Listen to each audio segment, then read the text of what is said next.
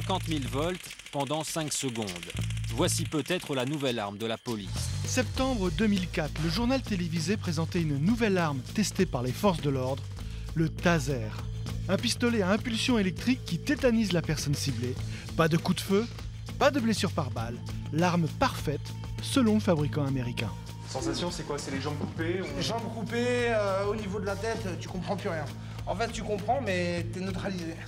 Mais revenons en arrière. Au début des années 80, l'électricité intéresse les fabricants d'armes.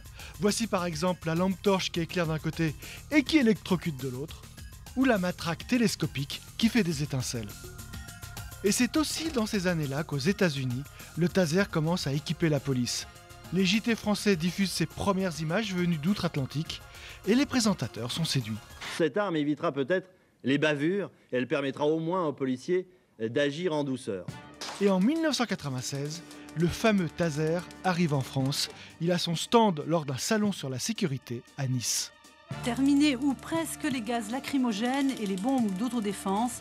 La protection aujourd'hui est une histoire d'électrodes. Mais il faudra donc attendre 2004 pour que le pistolet soit expérimenté auprès du RAID, auprès du GIGN et de la BAC de Lyon.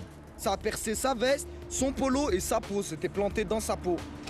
C'est le ministre de l'Intérieur de l'époque, Nicolas Sarkozy, très impressionné par le taser, Vous avez pas eu mal quand même qui poussera au déploiement du pistolet au sein des forces de l'ordre, à condition que les tests soient concluants, ce dont il ne semblait guère douter.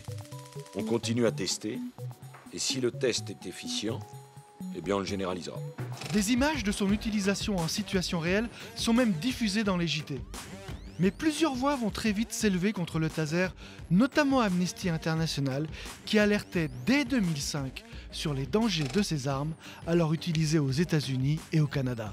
plus de 100 personnes qui sont mortes suite à l'utilisation du taser. Ça ne veut pas dire que le taser les a tués, ça veut dire qu'il accroît les risques de crise cardiaque auprès d'un certain nombre de personnes. Il sera démontré que le taser est potentiellement dangereux pour certaines populations à risque, mais ça n'empêchera pas son déploiement.